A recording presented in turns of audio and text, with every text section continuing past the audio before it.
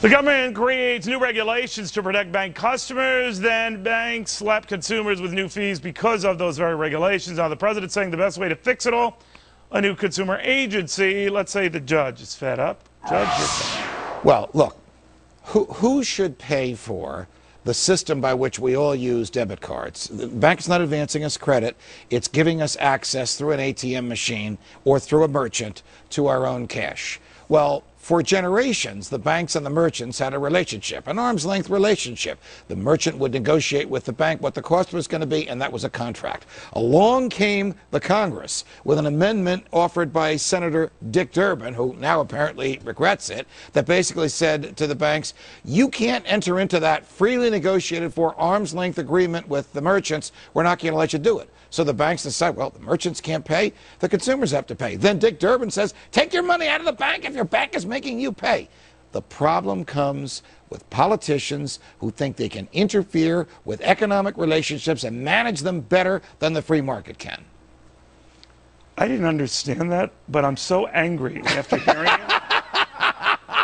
And what do they want to do? More regulations. No, well, that's see, seriously, that's what I kind of understand. Because then, if you're if you want to create an agency to essentially oversee this sort of stuff, you're you're going to make it more muckety, right? You are. And this regulation that the banks cannot uh, be paid by the merchants for the use of the card came about by an act of Congress. We don't even have the Consumer Financial Protection Bureau in place yet. Once they get in place, they can write whatever regulations they want. They can micromanage any financial financial institution they choose. You think Bank of America has problems today? Just wait till a few hundred more federal bureaucrats get their hands on it. And then they could be at cross purposes with one another. Absolutely, absolutely. So what does business do when it doesn't know what the regulations will be? It doesn't invest. You wonder why they're sitting on so much money. Or if you're the Bank of America, you cancel all their cards. Right. Right. All right, uh, Judge, thank you very, very much. A Detroit police officer is closer to trial after a botched SWAT team raid ended with the shooting death of a little girl while reality show crew recorded it. In May of last year, cameras were rolling as police raided a Detroit area home looking for a murder suspect. An officer's gun went off, and this seven year old girl died, reportedly while asleep on the couch. Police say the officer's submachine gun fired accidentally, but the family claims that officer was careless, and they say police tried to cover it all up. Well, prosecutors have charged the cop with involuntary manslaughter and a show producer with perjury and obstruction of justice. With us now is the anchor of Freedom Watch on the Fox Business Network and Fox News senior judicial analyst Judge Andrew Napolitano. Of course, there's a video here. Right. Prosecutors have seen it. We're, Geoffrey Fieger, the defense attorney here, claims he's seen it. Right. But we haven't. We haven't, and it's very unusual because the allegations are that the producer and the police were in cahoots to keep the video away from the prosecutor. The producer wanted to air the video because it is spectacular to look at. The police didn't want it aired because it may show evidence that would help convict this police officer. So the prosecutor has charged the producer with lying to a grand jury obstruct and obstructing justice by sending the police on a wild goose chase. For a while she claimed she didn't have it. But the prosecutor has seen it, and as a result of what the prosecutor saw and revealed to a grand jury, grand jury of one person. It's the only state in the union that's Yeah, a grand jury that? of what's very odd. It's the European system, but it's permitted uh, under the Constitution in state courts. This one person grand jury decided to indict the police after the prosecutor asked the grand jury to do it. Second time in a month. We have seen prosecutors indict police for homicide committed during the course of their ordinary work. Now, there are allegations that this officer, before he went inside this house, fired a gun through the window. That's the allegation from the family. And that it was that bullet which struck this seven year old girl who was sleeping on the couch. You know, Jeff Fieger, whom I know very well, is not saying quite properly. He shouldn't say at No. this point because the trial judge will decide whether or not the jury's going to see the video. So we don't know if the video substantiates Right. uh, the police version, it was an accident, or the family version, he fired through the window. But we do know that the grand juror and the prosecutor have seen the video. So you could probably draw your own conclusions. It doesn't look good for the police. You know, I, as a young reporter and even more recently as an old reporter, you sometimes tag along with the cops and, and you always fear, you know, you hope for you hope you get something that brings truth to the screen, but the, the fear is always something's going to go bad. And I just wonder, if access is not going to be limited Well, as a you see these you see these shows on various uh, networks Yeah, where, they the make where money. the- they make a lot of money, and then you wonder: Do the police do certain things because they know they're on television? Is, is justice being affected? Is government force being exercised because it looks better in front of a camera? Would they have done this if the camera wasn't there? Or, stated differently, if the camera had not been there, would we ever have proof of crimes committed by the police? So it cuts both ways. Of course, now everybody has a camera in his or her pocket, so it doesn't much matter. Yes, One most likely brought to us by Steve Jobs. yes, like many other good things. yep, yep. Yep. Judge, thank you. Pleasure, Shep. Welcome back, everyone. Top Republicans in the House claiming Attorney General Eric Holder received not one, not two, but at least five memos, de- excuse me, detailing the Fast and Furious program that put guns in the hands of Mexican drug dealers. So, why did he testify that he learned of the experiment a year after the date on those memos? Joining us right now to talk about this unfolding scandal, Freedom Watch co-host uh, and co-host of the Five, Judge Andrew Napolitano. I'm only laughing because Kilmeade moved his chair I- in the I- middle I of your was too far from Gretchen. All right, I don't know how it blame you. I think it looks better with us now. So, Judge, uh, the, the president was asked this yesterday about his attorney general. Says I fully back him, but the more we learn, the crazier this is getting. I think that the president will find the need to withdraw from that statement that he fully backs him because Eric Holder has exposed himself to the potential for criminal prosecution. We've only had this one time in modern times when Richard Nixon's Attorney General John Mitchell was prosecuted.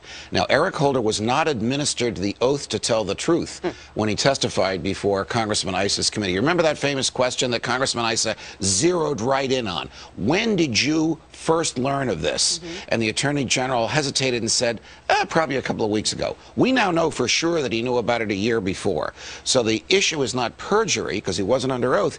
The issue is what the statutes call providing material misinformation to Congress. And the penalty for that is the same as perjury. But- it's five years per lie. Okay, that's very interesting. But my other question is so we know that he could be in trouble for that. But let's say he did know about it in May of 2010. Why does that make him in trouble? Because it's a preposterous and uh, and negative way to enforce the law, and it was disastrous here because it resulted in the murder of a federal agent of one of the government's own employees. Right. A heroic young man who was patrolling the border ends up dead, and one of the bullets in him came from one of these guns. And Judge, I just say that by reading between the lines from the investigators, it seems that where we still have not gotten to the heart of what the meaning and goal and objective of this program was. I think that is that is going to be the The smoking stated goal was to let the guns get in their hands so they could find out who they were and arrest them. Unfortunately, they lost track of the guns. There are hundreds of those guns, military grade guns, out there, and we don't know who has them. All right. Have a great weekend, Judge. You too, guys. tonight. Thank you you. so much.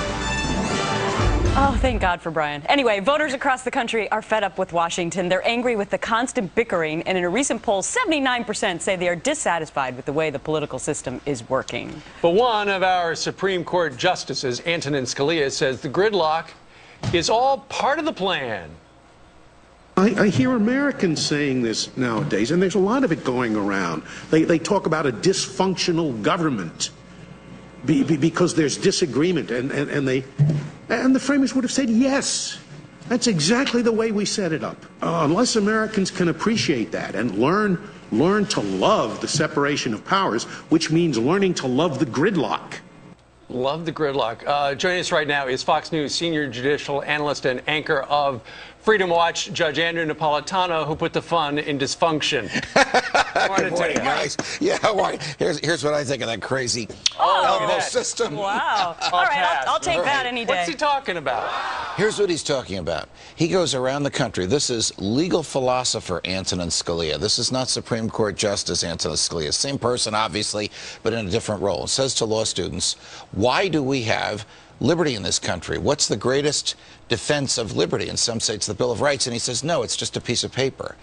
And some say it's our American values. No, because our values could change with, uh, with the wind. Time. The real reason we have liberty is because we have divided government, because the government is separated, because we have checks and powers, because the Congress can stop the president, because the courts can stop the Congress, because the states can do certain things that the federal government can't. And when people say we can't seem to get anything done, we can't seem to get it done fast enough. Justice Scalia is arguing that was intentionally put into the Constitution so that the federal government would move slowly and methodically by consensus and not in fits and starts in response to the immediate demands of the public. It's so interesting because when you look at the poll of how Americans feel, they a lot of them I think well they obviously don't like Congress, but they want to see things get done.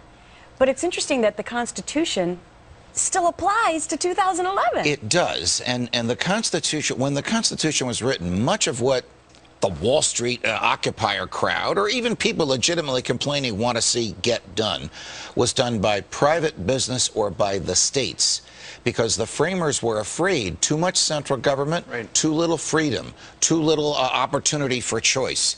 And as the federal government took more and more uh, power, we get less and less patient with it. It still is intended to be slow and methodical so that we can look at these things before we change the law. Well, uh, you know, uh, about a year and a half ago, we did change the law when it comes to health care reform. So, you know, the gridlock for a little while opened up, and suddenly there's a big thing that's going to wind up in the lap of the Supreme Court. Because the health care reform is lawful in two thirds of the country and not lawful in one third because of the of the courts that have invalidated it, and the Supreme Court will have the final say. Why? Because the Congress can't write any law it wants. The Congress can only write laws that are consistent with the Constitution, and the judiciary has the final say. So there's sometimes the gridlock lets up, things go through, and then they're settled by the Supreme Court. Yes, Steve. All right. Yes, Gretchen. Good enough. Thanks very much. We'll see you on your show later on today. Okay? Arbabsiar and Shakuri are charged with conspiracy to murder a foreign official, conspiracy to use a weapon of mass destruction, and conspiracy to commit an act of international terrorism, among other charges. The Justice Department accusing the Iranian government of being involved in this major terror plot, reportedly to assassinate the Saudi ambassador to the United States and bomb the Washington embassy. Attorney General Eric Holder calling it a violation of U.S. and international law. Judge Andrew Napolitano, my good friend, joins me now. Judge, uh, you have something with you. That just I, broke. I have the document that was actually filed. It was just released about 15 minutes ago, Eric. And this is basically a complaint, which is a statement made under oath by an FBI agent summarizing the evidence against these guys. We know that this so called plot, I say so called for explain to you in a minute, began in the spring of this year. That the principal plotter was arrested two and a half weeks ago, and the government, for reasons not stated, decided to make it, make it public today All right, now why so called? because this is a case in which the FBI found a naive person who thought that he could become a martyr and change the world by killing people, and they encouraged him to do so. They, envi- they wired uh, money to him, uh, and they brought him along only to the point at which they knew they had to stop it before anybody got hurt. All right, Judge. This is the suspect. This is the uh, the guy, the U.S. I guess he's a U.S. citizen with an Iranian passport. I believe Yes. that's what it is. Yes. His name is Mansour Arbabsiar, and he was in court a couple of minutes ago, and there's a sketch of it. Now, Judge, if the man admits to it, how is it still a, a suspected plot? Is this not a, a, an act of war? Well, it's not an act of war because the government chose not to involve the Defense Department. The government chose to keep this. It's a great question, Eric. To keep this within the confines of the uh, of the just of the Justice Department. The Defense Department's not involved, and they brought him before a federal judge. If this were an act of war, he would be un- under the present state of the law. Whether it's constitutional or not is another story. But under the present state of the law, if this was an act of war, he would have been brought to Guantanamo Bay and charged before a military tribunal. What took him so long to arrest this guy? Well, it's very curious as to the timing because he was arrested on September 29. He's been incarcerated since then. The government chose to reveal the uh, existence of the plot today. Now, today is the day that Congressman Issa, Republican of California, hmm. announced he's going to subpoena the hmm. Attorney General to testify before the House of Representatives to whether or not he lied about Fast and Furious, the selling of, of guns to Mexican drug gangs. Perhaps the Attorney General, I'll say this, Eric, wanted to get that, his own personal legal problems, off the front page. They could have revealed this two weeks ago. they could have revealed it two Anytime. weeks from now. But they chose today when we hear that uh, Issa was allegedly going to hand a subpoena to, to Holder. There are two other people involved there in Iran. The American is in jail here in New York City, safe from where he can produce any harm. Judge Andrew Napolitano. That's some breaking news right now. Fox News confirms now that the subpoenas are now out for the Attorney General and members of his staff. Uh, in the Department of Justice, all this relating to the Fast and Furious investigation.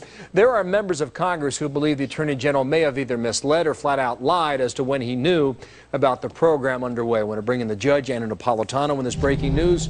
Fox News senior judicial analyst and host of Freedom Watch on Fox Business Network. How you doing, Judge? Good, Bill. How does the subpoena now change the course of this story or in this investigation? Well, it makes it a lot more serious because when Congress sends a subpoena, serves a subpoena on someone, no matter who they are, even the President of the United States, if you recall what happened to President Nixon when he attempted to avoid or evade a subpoena, Congress invokes the power of the federal courts in Washington, D.C. to enforce the subpoena. There's very little wiggle room here. There's very little opportunity that the Attorney General has to avoid complying with the subpoena. And it's out, as William Lajeunesse has reported. I just saw it. It's com comprehensive.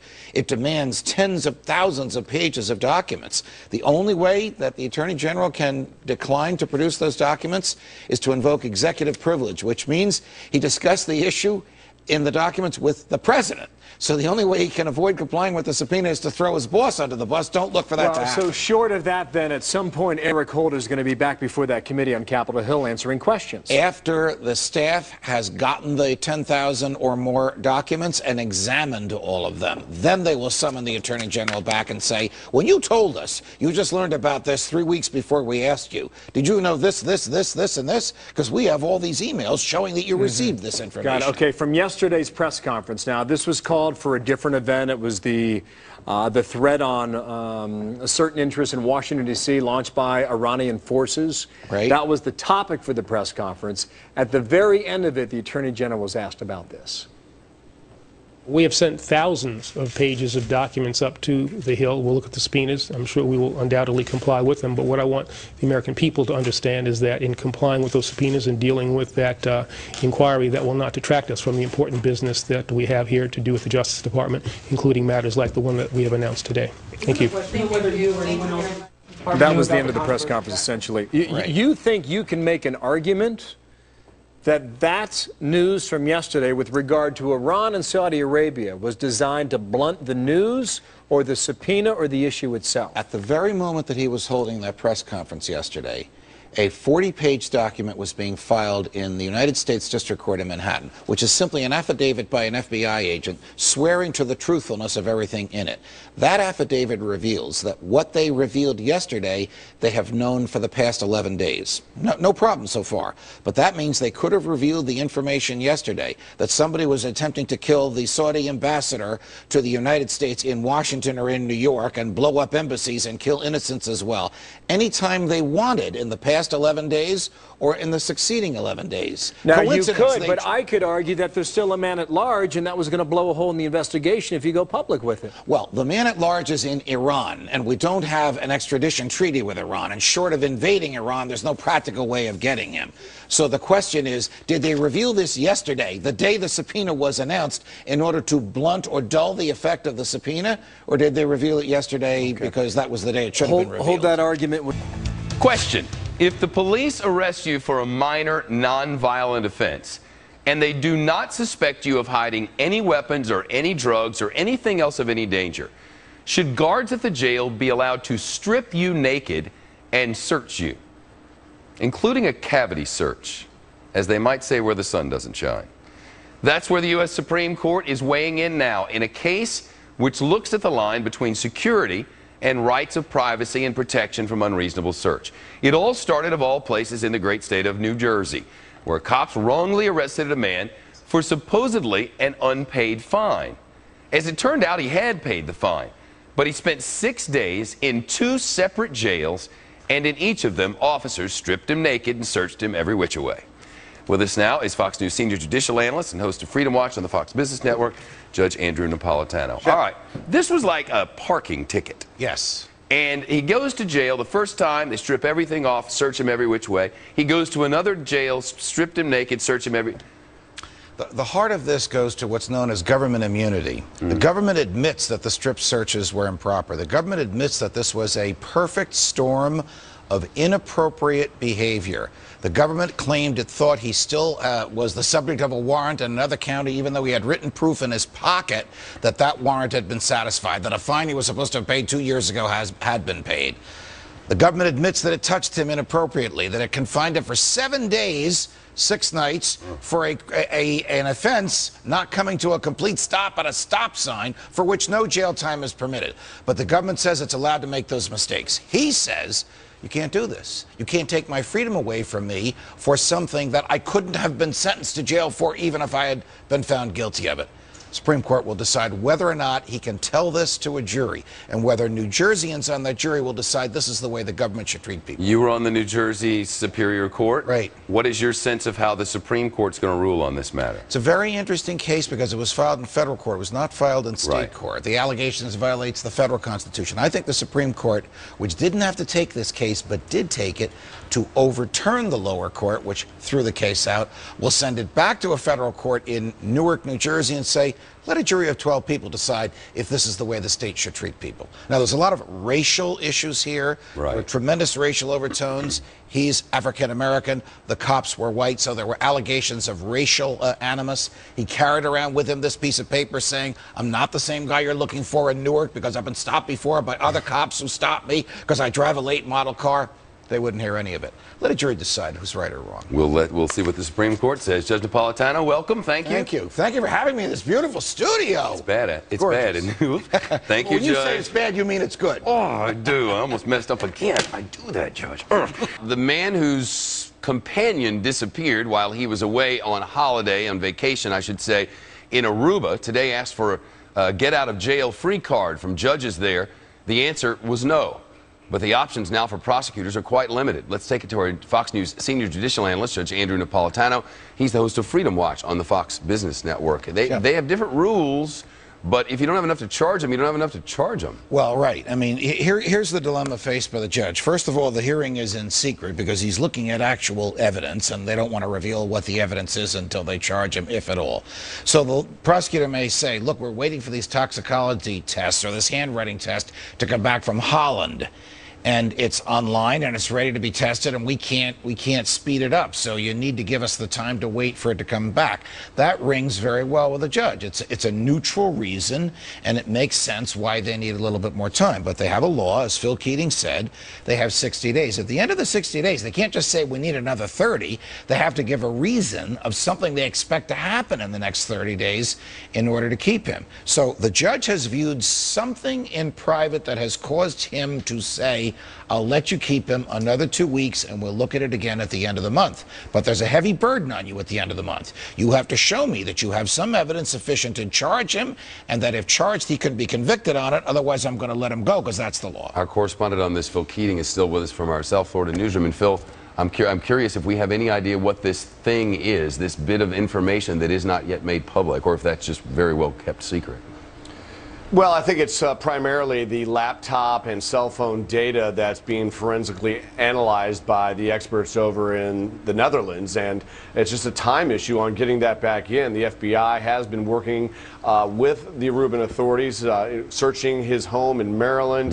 They did obtain some handwriting samples, and that is going to be used for this life insurance, the traveler's insurance that Aruban authorities say Gary Giordano took out on Robyn Gardner's life at the airport or when they bought the tickets to fly from uh, the U.S. down to Aruba. Of course, uh, he, right before he was arrested, he was at the airport attempting to board a flight to return back to Maryland.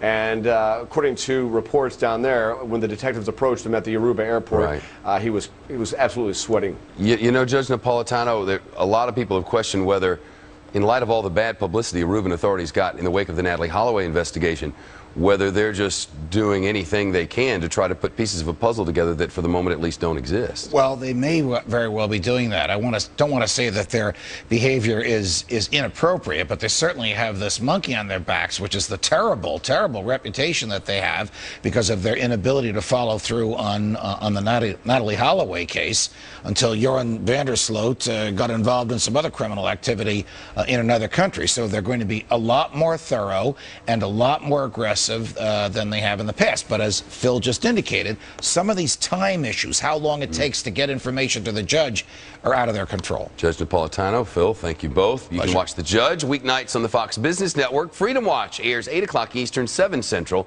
And if you don't get the Fox Business Network, you should demand it.